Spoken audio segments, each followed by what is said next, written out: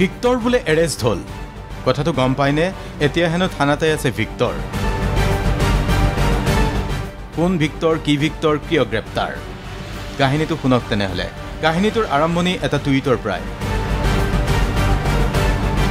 Tweet মানে টুইটাৰত দিয়া আপডেট। টুইটাৰত দিয়া এই টুইটটোত ভিক্টৰ দাস নামৰ যুৱকজনে কি অভিযোগ আনিছিল সেয়া ইতিমধ্যেই সকলোৰে মুখে মুখে। অভিযোগ আছিল ছাব্বিছ হাজাৰ নিযুক্তিৰ পৰীক্ষা বিসংগতিৰ। ভিক্টৰে দিয়া এই টুইটটোকেই গুৰুত্ব সহকাৰে গ্ৰহণ কৰিলে অসম আৰক্ষীয়ে। ভিক্টৰক লৈ অনা হ'ল থানালৈ। এয়া নিশাৰ দৃশ্য। নিশা পাণবজাৰ থানাত ভিক্টৰ দাস। বিচাৰো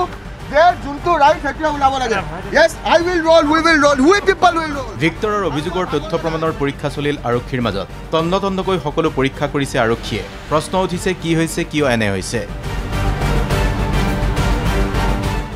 মাতৃৰ মনে কথাষাৰ মানিব নোৱাৰে। এনেকৈও মানুহ এৰেষ্ট হৈ যাব পাৰেনে? মাতৃৰ মতে কিবা নহয় কিবা প্ৰমাণ পুত্ৰৰ হাতত আছে। হাতত যদি কিবা প্ৰমাণ নাথাকিব ইমান ডাঙৰ প্ৰমাণ থাকিলেতো আৰক্ষীয়ে এৰেষ্ট নকৰে বাইদেউ। ইমান ডাঙৰ এটাতো সি ষ্টেপ ল'বৰ কাৰণে সাহস নকৰে আৰু তাৰ নিজৰ স্বাৰ্থৰ কাৰণেতো সি সেই কামটো কৰা নাছিলে হয়নে নহয়? সি কৰিছিলে যে ষ্টুডেণ্টখিনিৰ লগত সি ৰাতি চাৰিটা চাৰে তিনিটা বজালৈকে ক্লাছ কৰে। সেই ষ্টুডেণ্টখিনি যাতে মানে সি বিচলিত নহয়। তাৰ কাৰণে সেই ষ্টেপটো সি লৈছিলে যেতিয়া তাক ষ্টুডেণ্টে ফোন কৰি কৰি কৈছিলে ছাৰ এনেকুৱা হৈ আছে ছাৰ সেনেকুৱা হৈ আছে।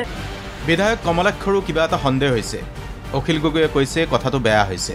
আমাৰ আমাৰ এটা হেৰি আছে যে নিশ্চয় তাতে এটা মানে এটা সন্দেহ এটা আছে যে তথ্যবিলাক। কাৰণ আজিৰ দিনত যদি আমাৰ গভমেণ্টে যদি এনেকুৱা আমি দেখিছোঁ যে ই ডি চি বি আইক যদি ৰাজনৈতিক এটা দলৰ এটা এজন সদস্য হিচাপে ব্যৱহাৰ কৰি আছে তেনেহ'লে অসম পুলিচত কিয় ব্যৱহাৰ কৰিব নোৱাৰিব? এইটো এটা আমাৰ এপ্ৰিহেনশ্যন এটা এটা- আছে। তেওঁ কেৱল অভিযোগ কৰিছিল আৰু সেই অভিযোগৰ বিচাৰ হোৱা উচিত আছিল। অভিযোগৰ বিচাৰ কৰাৰ পৰিৱৰ্তে অভিযোগকাৰীক গ্ৰেপ্তাৰ কৰি চৰকাৰে জনাই দিছে যে এই দেশত গণতন্ত্ৰ নাই। আনকি ভিক্টৰে দিয়া টুইটটোৰ তলতো অনেকেই সন্দেহ ব্যক্ত কৰিছে। আৰু ইয়াৰ মাজতেই প্ৰতিক্ৰিয়া আহিছে মন্ত্ৰীৰ ফালৰ পৰা। মন্ত্ৰী জয়ন্ত তামুলৈ কৈছে অপেক্ষা কৰক নিকাভাৱেই নিযুক্তি হ'ব। সকলে ইমান ধুনীয়াকৈ পৰীক্ষা দিছে ভালকৈ ৰিজাল্টলৈ আশা কৰি আছে। সেই কথাবিলাকত কোনো যুক্তি নোহোৱা কথা। কোনো এতিয়া তেওঁক যেতিয়া ধৰি আনিছে তেওঁ কোনো কোনে কি কাৰণত ক'লে? মুখখন থাকিলেতো চব কথা কৈ দিব নোৱাৰি। আজিকালি সংবাদ মাধ্যমত এইবিলাক দেখাই দিয়াৰ কাৰণে এইবিলাক মানুহবিলাকে এইবিলাক কৰি থাকে। এইবিলাক আপোনালোকে দেখুওৱা বাদ দি দিয়ক। আপোনালোকৰ যদি বিশ্বাস আছে যে এই পৰীক্ষাটো ভালকৈ হৈছে যদি পৰীক্ষাটো ভালকৈ হোৱা বুলি অসমৰ সংবাদ মাধ্যমৰ বিশ্বাস আছে তেতিয়াহ'লে মই ভাবোঁ যে এনেকুৱা নিউজবিলাক নেদেখাব তেওঁলোকে কোৱা বাদ দি দিব তেওঁলোকে টিভিত ওলাব পাই কৈ দিয়ে।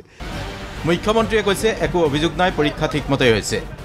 একো অভিযোগ নাই একো অভিযোগ নাই। ভিক্টৰৰ টুইট পৰ্ব আৰক্ষীৰ অনুসন্ধান উৰা বাতৰি বিয়পোৱাৰ অভিযোগ আৰু তাৰ মাজত বিভিন্নজনৰ ক্ৰিয়া প্ৰতিক্ৰিয়া ভিক্টৰৰ গ্ৰেপ্তাৰৰ পিছত অনেকৰে মনত প্ৰশ্ন হৈছে একশ্যনতকৈ ৰিয়েকশ্যন বেছি কুইক হৈছে নেকি? ভিক্টৰে টুইটাৰত অনা এনে অভিযোগ গুৰুত্ব নিদিয়াকৈ আৰক্ষী থাকিব পাৰিলেহেঁতেন নেকি? টুইটাৰ ফেচবুক ছ'চিয়েল মিডিয়াত এনে বহু কথা অহৰহ বিভিন্নজনে লিখিয়েই থাকে। ভিক্টৰো ব্যতিক্ৰম নাছিল। ভিক্টৰৰ পূৰ্বৰ টুইটসমূহো দেখিলে আপুনি তেনে অনুমানেই কৰিব পাৰিব। যিকোনো বিষয় লৈ ভিক্টৰ সৰব তেনেবোৰ প্ৰশ্ন এতিয়া বিভিন্নজনৰ মনত। Bureau report D Y three six five.